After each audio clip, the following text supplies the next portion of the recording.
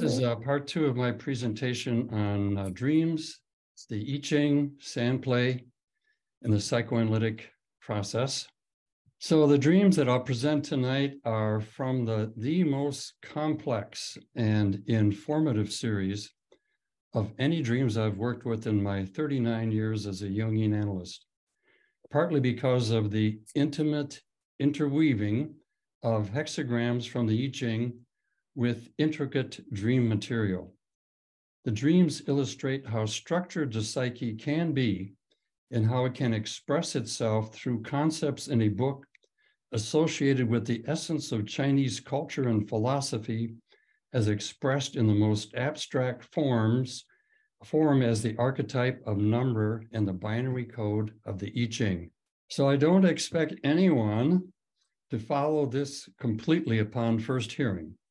But this presentation is being recorded and will be available to those interested in a closer examination of the material. Eventually, I hope to publish the Dream series in detail in a book, but I'm not sure if and when that will happen. I present these dreams to honor China for the gift of the I Ching to the world, demonstrating the universal nation, uh, nature of the wisdom the I Ching con contains. My analysand is a successful liberal arts college professor with a broad background in both the sciences and the humanities. He began to read Jung at age 17, that was in the 1960s, and started to use the I Ching shortly thereafter.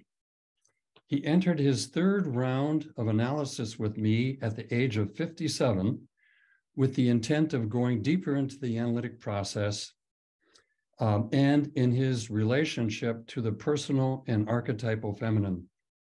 He was transiting to an elder position in the university and wrestling with a huge conflict in his personal and professional life between a physical, sensual eros and a very spiritual eros, with all the complexities of doing that in American Christian culture and intellectual university life. This man had an amazing ability to recall dreams, often bringing in page long, single spaced typing typed dreams. He was on sabbatical for a year and devoted considerable time to his analytic work, including active imagination, which he was gifted at doing, and meditation. The first dream Dave, and I'll call him Dave, that's not his real name, uh, brought in for the first round of analysis involved him pressing his face into a spherical cactus enclosing a scorpion. We related this to his struggles with his male sexual energy that began at puberty and the hell and damnation ser- uh, sermons of the conservative Christian church he attended as a child.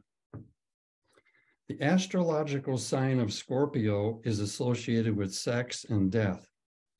Dave summarized his first round of analysis as dealing primarily with male sexual energy, which set the stage for him to remarry. The second round of analysis, about 18 years later, dealt with feminine energy and releasing his blocked creative energy. The two year analysis was followed up by a one and a half year analysis five years later, and that is what I will be talking about today. Several dreams set the framework and constitute uh, context for his third round of analysis, including an initial dream of an Asclepian temple of healing near the sea with four pillars carved with wavy vertical lines holding up the roof. The nearly square support stab, uh, slab had a round hole and a square hole in it, which can be associated with the geometric symbols for hexagram one and two in the I Ching, respectively. Three weeks into the analysis, he was given a map uh, in a dream of his dreamscape with significant dream figures and locations oriented by the directions and Jungian psychological types. This map became the framework for the rest of, of the analysis, extending over the next year, the next year and a half.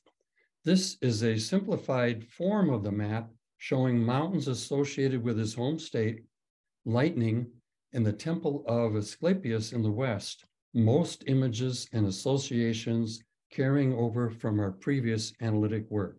Soon after, Dave dreamt of a journey south to a place where an angel was to receive his wings. The angel is hobbled with a twisted back. A voice says, You must be burned, understood as being the process for attaching the wings. The group enters a cave after they started to descend the hill with the temple of Asclepius on a cliff in the west. A tunnel leads to the chamber of black gold light, resembling a laboratory or an operating theater. Male figures, angels, wise men, and various sorts of scientists are working with a stone that has something to do with attaching the wings. The black stone is under tremendous pressure, causing deep yellow and red light to emerge. Four ideas arise over what to do with the stone, each associated with a direction and a psychological function. The first thought associated with the north and thought, the intellect, is that is to be given to Our Lady of Tears. The second, west associated with a sensation is that it is the small light in the vast darkness in the painting of the Louvre, in which Jesus appears in a small circle of light toward the lower left hand corner of a vast canvas filled with scenes of sin and chaos. And that there's that figure of Jesus, that small little figure, and the rest is about the crucifixion and sin and chaos. Let me, okay, so here we are um, the image uh, alters with it with each breath. On the intake, Jesus is holding the stone, which is also the Tao. On the exhale, the Tao expands to form the globe of light surrounding Jesus. In this image, we have a merging of Christianity of the West with Taoism of China. This slide here shows Kampi's Mystery of the Passion and the resurrection of ascension of Christ. And I mm-hmm. said, note that small Jesus figure on the left. Dave forgot about the crucifixion image on the right. The little figure of Jesus will have to go through all the pain and suffering depicted in the painting to get to the transcendent re resurrected Jesus in the upper right. That's this part, and there's Jesus in the center. But we will see in Dave's last dream that instead the psyche put him on a path down into Lao Tzu's deep enigma source. The third idea is uh, that's connected with the South and emotion is that the stone should be placed inside the skull of the desk in St. Jerome's study. Now, St. Jerome is the patron saint of librarians, which would be associated with thinking and sensation, organization of a mass of details. The fourth idea is that it is to be left in silence. This is to be accomplished by making a small fleck with a knife on the surface of the dark, uh, the black red part of Monet's water lily canvas and letting it sink beneath the water. And you can see the black, red, uh, parts beneath the water lilies of the Monet painting. The stone under tremendous pressure can clearly be related to the alchemist stone that the builders rejected. One of the many metaphors for the alchemical process was to convert lead into gold, psychologically and spiritually describing described as transmuting something base and heavy in our psyche into something of ultimate value like gold. Another powerful and highly symbolic dream followed that, and it added more complexity to the psychic roadmap for Dave's analytic process. In the second part of a dream Dave had the next night, he is standing in a line with a group of non affluent, multicultural people led, quote, outside onto a street in a scruffy urban neighborhood. Our Lady of Tears, a woman in her 20s or 30s with dark hair tied back under a blue scarf, is sitting at a card table in a driveway. The stone is on the table. The woman places her hand gently on it and her fingers enter its interior. The interior is at once a heart, coral reef, and the interior of a brain. Her fingers pass into the capillaries of the heart and the neural networks. She is seeking out memories and massaging the damage in rhythm with the inhale and exhale of the breath. A couple of street people stop to watch. The massage opens new patterns in the neurons and causes the coral to change color. Her fingers can reach all the secret rooms. One of the onlookers takes a cloth, yellow with red and blue embroidery, and covers her hands and the stone. The stone is then carried down, down a hallway to a chapel at the monastery where it will undergo the second stage of the process. End of quote, end of dream. So the Christian monastery in the mountains of the dreamer's home state is a favorite meditation retreat for him. Note that Our Lady of Tears, to whom all subsequent prayers will be addressed, is associated with the North intellect, bringing compassion to that realm for the dreamer. She works simultaneously on the head, heart, and coral reef, which is the life rich zone between land and the ocean depths, the depths of the collective unconscious. Like with Jesus, the healing, the healing rhythm is inhaling and exhaling. Think meditation here. Note that there's a connection between the inner, the psychic, and the environment, that coral reef. So Our Lady of Tears is a level four anima on dreams schema of anima development, the highest development of the anima. It is wisdom transcending even the most holy and most pure, an example of level three being that of the Virgin Mary. Prime examples of level four are Sophia, the goddess of wisdom in the Old Testament, and here depicted the Mona Lisa by uh, Leonardo da Vinci and Leonard Cohen's uh, 1966 song, Suzanne. At its deepest level, the anima is a function of the self, the ultimate value other with a capital O, that men would climb the highest mountain for and swim the deepest ocean.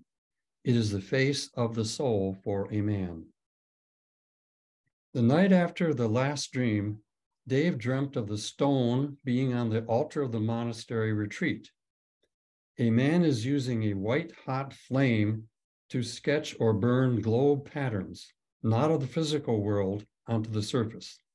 The patterns have something to do with Thomas Merton's journey, whom Dave loves, and Dante.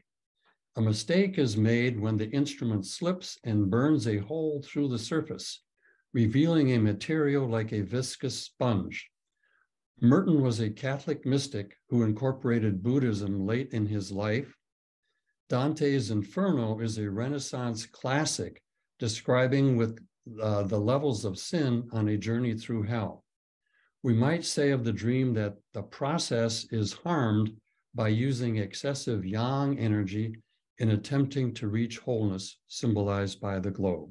Six days later, Dave dreamt of an awareness of the connection between grace and hexagram, the well, number 48. The dream locale was the west end of a main street in his hometown.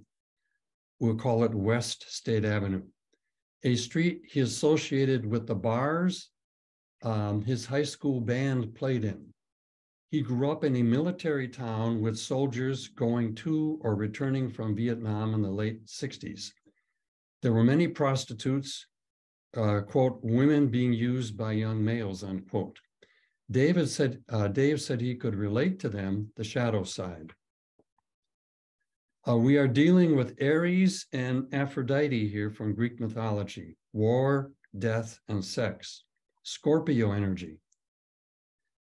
Uh, Dave had had a dream about a lost child, the son of a prostitute, and an undercover male cop that started out with a Mona Lisa face who was looking for his origins. In the second part of the dream, he associates the well hexagram with the stone and the cross in the west.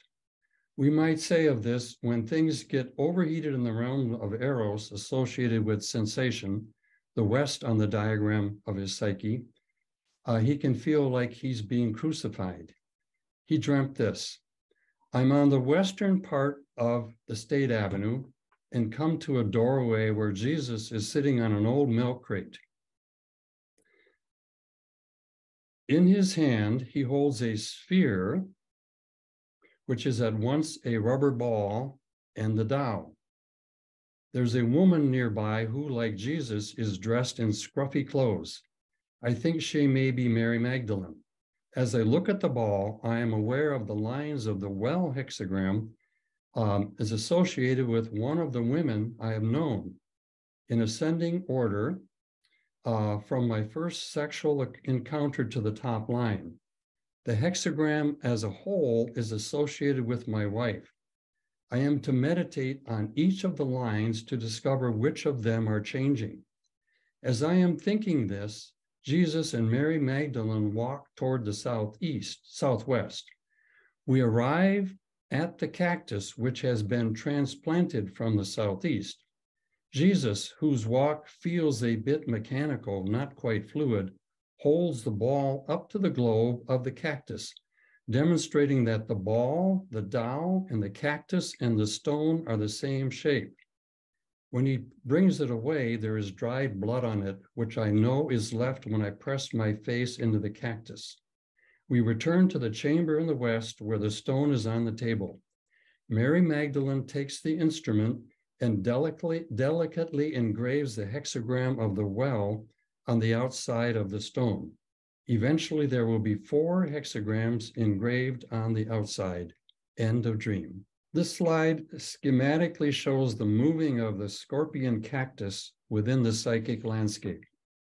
Mary Magdalene is the prostitute who was forgiven and defended by Jesus.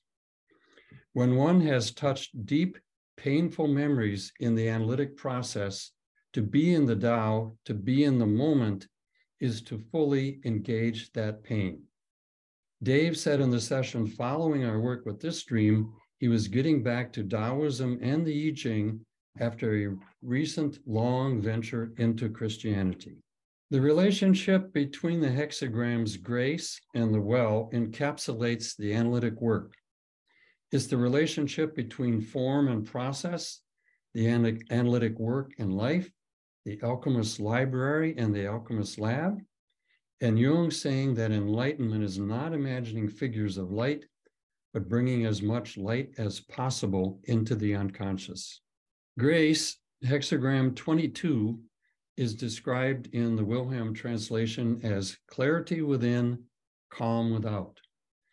This is derived from the compositional trigrams. The upper trigram, the upper three lines, um, is keeping still the mountain, which is over the trigram for fire, brightness, and clarity.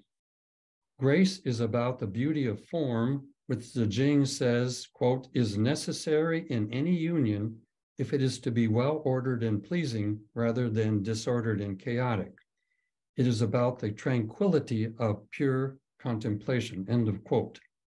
This would relate to Dave's strong thinking function in the North thinking function and theory associated with academia.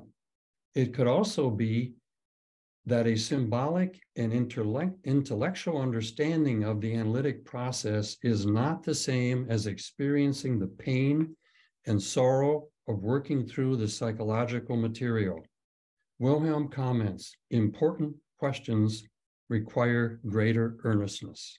The greater earnestness that is required than what is in hexagram 22 is certainly seen with the well. Notice that the lower trigram is associated with the gentle, wind, and wood, whereas the upper trigram is associated with the abysmal water. We can think of this as a woody plant growing and gently penetrating the abysmal, the water emotional streams in our lives, extremes in our lives. This is Our Lady of Tears gently massaging the brain, heart, and coral reef in the ocean water.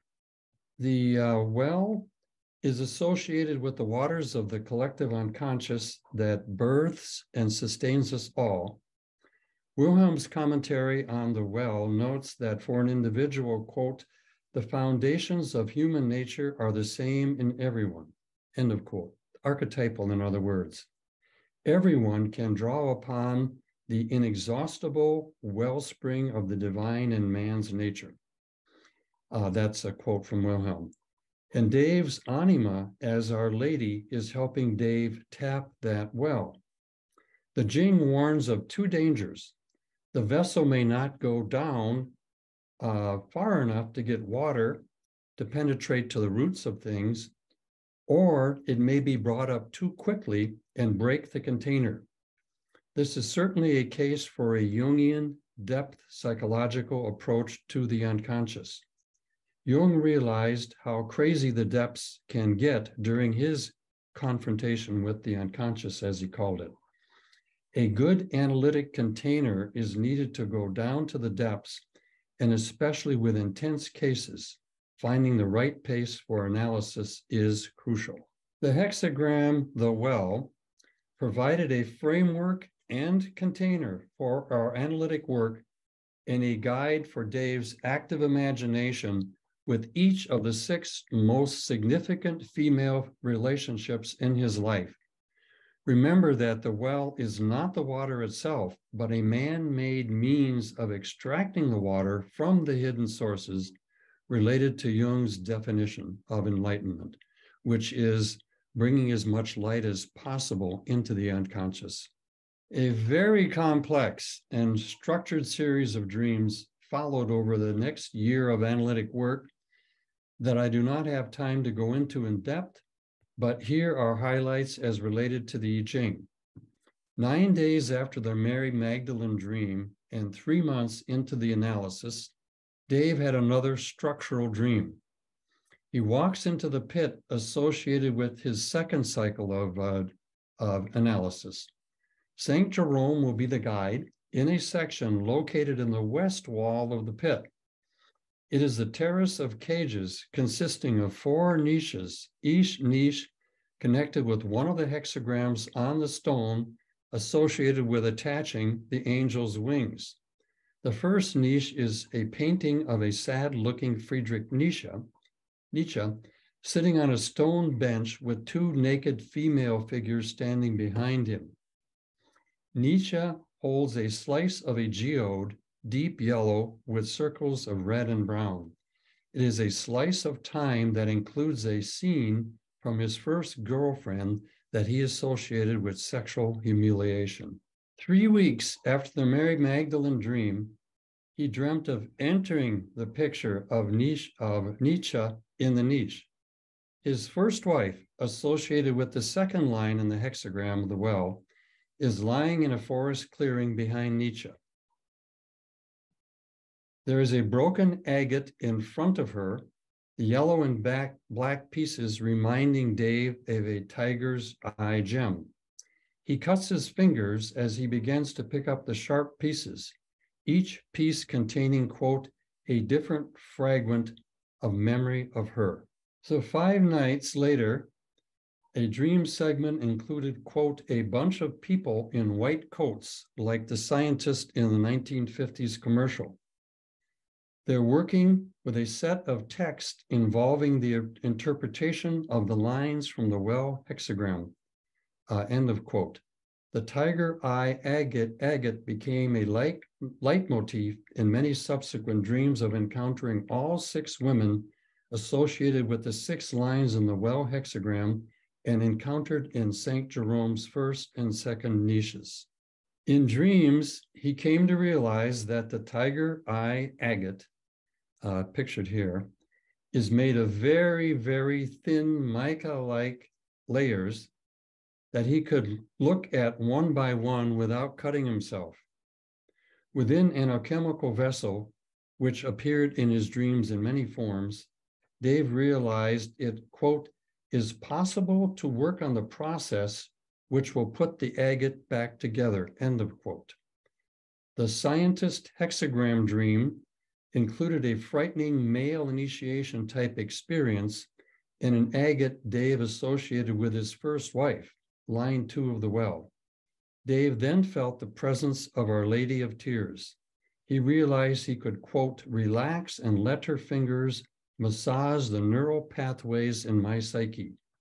I am also aware that she's touching memories, but finding the places, she's not touching memories, but finding the places where the chemicals and hormones fix the memories are released. Her fingers release the chemicals, which then enter the bloodstream and flow to the places in the body where the memories are locked up. I follow my breath through the body, opening to the, the energies, end of quote. Of note in the dream is the relationship between the feminine neurobiology and neurochemistry and breath work to deal with painful memories as they are experienced in the body. Recall Jesus and Our Lady inhaling and exhaling in earlier dreams. Jesus was associated with the stone and the Tao, and Our Lady was associated with the rhythm for massaging the brain, heart, coral. Dave was developing the ability to look to both look at with some objectivity and feel into the micro moments of memories as stored in the psyche soma, using both imaginal feminine energy and conceptual approaches. The scientists trying to come up with a written description of a hexagram. The breath work provided the substrate, helping generate the physiological changes that enable the memories discovered and engaged. Here is a schematic diagram of St. Jerome's Terrace of Cages in the west wall of the pit. We are dealing now with the first niche in the west wall of the pit. You can see uh, Nietzsche with two women, the slice of the geode, hexagram 48, the well, his first girlfriend, line one of the well, and his first wife, line two of the well. That's all in the west part. Okay, five weeks after entering that niche in the west wall, Dave dreams that he's watching, walking away from it with St. Jerome, who hands him a piece of agate to carry as a sort of talisman. Quote, he tells me that the stone used to attach the angel's wing that will have four hexagrams engaged on it, engraved on it, has been placed inside the skull on his desk. When I reach the south, it will be cracked open and released. End of quote. As Dave enters the Southwest, the transition zone between the realms of sensation and of feeling, he sees niche two holding four images, each an element to be added to the alchemical vessel. They are the ocean, the black rock, the temple of Asclepius, um, and the cactus with the scorpion at the center. I am to cast a hexagram to serve as the guiding presence for this stage of the process. And that hexagram turned out to be liberation, 40, deliverance, and Wilhelm, with the top line changing. When I reach the black rock, I will meet my guide for the next stage of the process.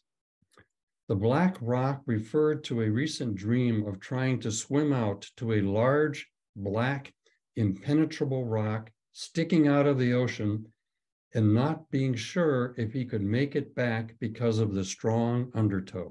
The hexagram deliverance, the trigram, uh, uh, arousing thunder, is over the trigram, the lower three lines, the abysmal water. The energy is beginning to move out of the sphere of danger, just as a thunderstorm clears the air of tensions. Wilhelm says, quote, just as rain relieves atmospheric tension, making all the buds burst open, so a time of deliverance from burdensome pressure has a liberating and stimulating effect on life, end of quote. The Jing counsels to use clarity to forgive deeds and return to normal as soon as possible.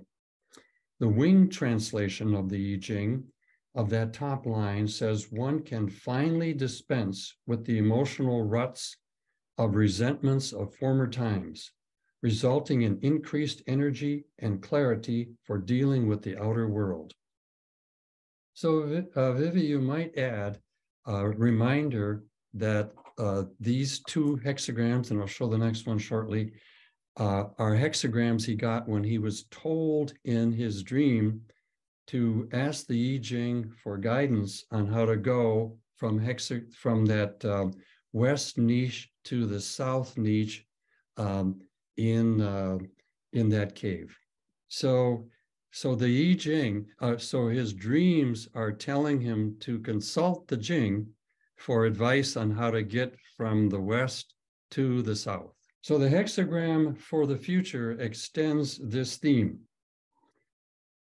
Uh, hexagram uh, 64 before completion has the clinging fire uh, as the upper trigram and the abysmal water as the lower. Uh, Wilhelm uh, writes, the hexagram indicates a time, whoops, I don't think I need that one yet, uh, indicates a time um, when the transition from disorder to order is not yet accomplished. The change is indeed prepared for. This hexagram presents a parallel to spring, which leads out of winter stagnation into the fruitful time of summer. The conditions are difficult. The task is great and full of responsibility, but it is a task that promises success because there is a goal that can unite the forces now tending in different directions. At first, however, one must move warily. If we wish to have an effect, we must first investigate the nature of the forces in question and ascertain their proper place. But in order to handle exterior forces properly, we must above all arrive at the correction, the correct standpoint ourselves, for only then can this vantage, uh, from this vantage, can the work, uh, can we work correctly. End of quote from Wilhelm. So powerful emotional forces occurring the week after this last dream led to him awakening from a dream, quote, in an intensely agitated state. He slipped back into a half sleep where he stood in silence with Prospero for hours on a rock in the ocean, quote, feeling the ice in my body, watching thoughts pass as they were being battered by a hard rain of half frozen prayers, end of quote. Prospero is the central figure in one of Shakespeare's plays, The Tempest. He relinquishes his power as an alchemist and releases his hold over the chthonic Caliban and the ethereal Ariel. The opposites are brought together in the marriage of his daughter, whom he had isolated from the world. So, Vivi, just add that remember, this is an English professor we're talking about, and Shakespeare is, you know, one of the the the, the central images uh, in archetypal writers in the West. So, over the next five days, he dreamt of an unsuccessful attempt to connect with his first girlfriend, and then of a violent clash between two men. He awoke from the second dream, quote, with an intense awareness of the energy in my body, especially in my arms, thighs, and around the heart chakra.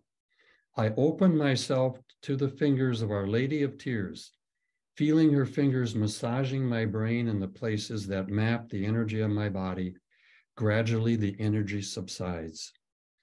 Is this man in this intense process with very difficult material was told in his dream to consult the I Ching and to get advice like this, which seems to recognize the difficulties he's dealing with but also the encouragement that it gives him. So just think of this coming from some source that we in the West have no way of describing, but is is is telling him this this um, wonderful information. And looking back at hexagram 40, yeah, he's told the energy is beginning to move out of the sphere of danger, just as a thunderstorm clears the air of tensions, And then in the hexagram 64, he's told this indicates a time when the transition from disorder to order is not yet completed, but the changes are indeed prepared for. It presents a parallel to spring, which leads out of winter's stagnation into the fruitful time of summer. The conditions are difficult, task is great and full of responsibility, but is a task that promises success. You know, I mean, you have to imagine how encouraging that is uh, to be told that from where. That to me is kind of a miracle. And um, then he began a series, a beautiful series of dreams related to the second phase of the journey, uh, having had St. Jerome's guidance through the first phase, which was associated with the niche in the West. Mm. So hang on here. There we are. Um, so these dreams are located in St. Jerome's second niche in the spiral descent and connected with the south, the ram, realm of emotion. So a fundamental transformation happens in Dave's dreams and the psyche with the help of a female guide surrounded by a pale, numinous light who turns out to be another guise for Our Lady of Tears. Over a seven week period, Dave is guided through seven chambers of a desert tower of prayer containing different forms of goddess energy. Each chamber has its own patterns, colors, and association to jazz and pop music. Dave had a vast music collection and often brought in CDs he burned of the songs in his dreams. The prayer chambers are in ascending order, clockwise, spiral order, beginning with the prayer of ice, uh, followed by rain, flood, fate, wings, wind, and flight. The psychological metaphors go from frozen water to rain from above to flooding, then a transition to a more spiritual, lighter domain, beginning with fate, then wings, which ride and manipulate the wind to flight. As he travels through the chambers, he is told to remember the agate.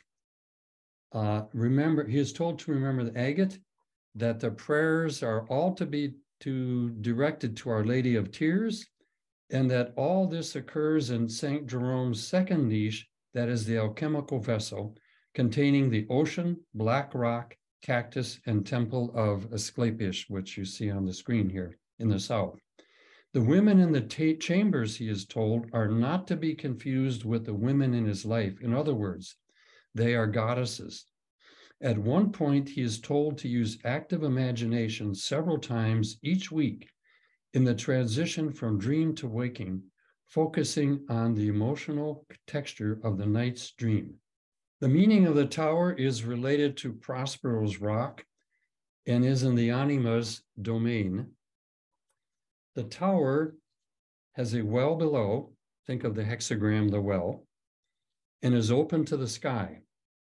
Engaging the anima figures in the well will heal Prospero's wounds and remove an isolation supported by his genius and wizardry.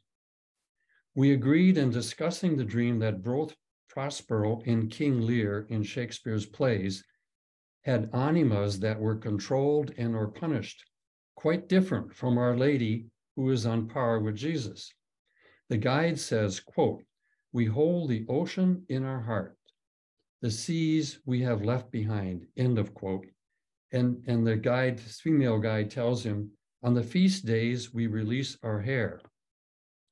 Then she says, the first set of prayers, the prayers of ice, will be for, quote, taking back of the dream child, unquote, which would be the prostitute's abandoned boy.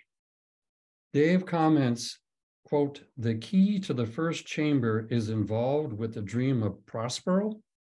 The West State Street Avenue, remember that was uh, where his high school band played and all the, the um, military men uh, would connect with prostitutes, um, and the two women fighting over the baby in my recent dream. So, six nights later, he wakes up from a dream of being in a very cold truck ride and enters an active ad, enters an active imagination while being half awake. Quote, I'm in the chamber of the prayer of ice. The woman who is praying places some of the red pulses on my poultice on my third chakra, and I feel the emotions which have been frozen for most of the week beginning to thaw, drawn to the surface by the warmth. The woman is wearing a robe which is silver and white with designs of icicles. End of quote. They are very beautiful, and I associate them with the agates. Each is a moment of coldness, but each has its beauty and can be looked at. I hear the phrase, danger isn't death. So, five days later, Dave dreams throughout the night he's in places where it is possible and necessary to make choices regarding what memories to deal with in what sequence. He is unable to remember the specific choices to make in each cycle. To reduce the complexity a bit, and in the interest of time, I will skip the prayer of rain and the prayer of fate chambers. Between the two chambers, he dreamt he was in a mountain town where everyone knits. Quote, two women are knitting brick red yarn in patterns that remind me of I Ching hexagrams, only they are knitting from the top downwards, end of quote. So 19, uh, 19 days after the choices dream, that was the one where uh, he was told to make choices regarding the memories to deal with in what sequence. So 19 days after that, he had a dream opening with high emotions about a political and sexual threat from men, a girlfriend, and feeling about the woman associated with the top line of the well hexagram. Quote, I'm aware of needing to not name the emotion as anger. I remember the agate and fo- focus myself on thin slices of memory, concentrating on the emotional content of the memories. This refers to the need to not put too much energy into dealing with emotionally volatile material. So, bear and pig are stirring the pot, and that's an image he often used to initiate active imagination in the first round of our analysis. Uh, they are working with materials in the alchemical vial, bringing the crucified boy on the cactus together with Prospero on the rock. This is connected to the prayer of the wings, and I remember an image of the rivers of the world, each contained in a globe on the goddess altar in the chamber of, of the prayer of flood, and that the conditions for the flood are present long before the waters. I think of the rhythms of Latin music and then of the jumble of Miles Davis albums from the post Bitches Brew era. And I know that I am to listen to music and meditate on the emotional cross currents. So, what is important here, I'll just add this, is that uh, we're talking uh, about dealing in the archetypal realm he was told not to think of it as particular women in his life. So the goddesses are in the archetypal realm. And the other is what you do in therapy. You go into the particular emotions and experiences. You don't just talk generally about something, but you have to, the grist for the mill is in the particulars. And that is what is depicted um, imaginally as these different layers in that agate.